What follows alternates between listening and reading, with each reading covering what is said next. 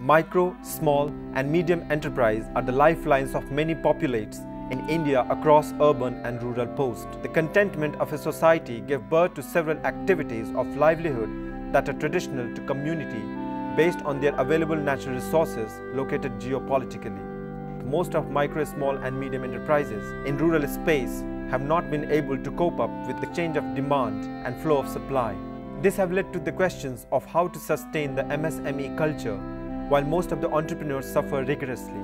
Still, the sector has a tremendous scope for economic revenue. The sector lacks networking and communication platform in terms of market-driven knowledge or resource allocation or finding market for their products and services.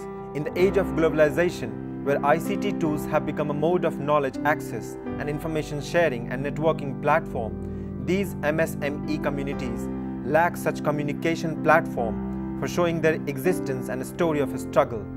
Most of them do not have a virtual identity because of which they do not benefit from sources that can provide tremendous business opportunities to them. Digital Empowerment Foundation have launched a national program to offer 2.61 crore grassroots MSMEs an opportunity to earn global networking base. The program is designed to serve the grassroots micro, small and medium enterprise with digital portal in any vernacular language.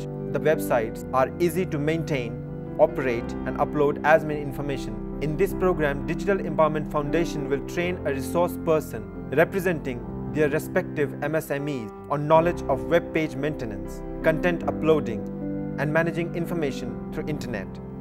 EMSME is a national movement to bring billions of entrepreneurs community online by giving voice to them and to benefit of networking through ICT for global outreach to attract markets and clients.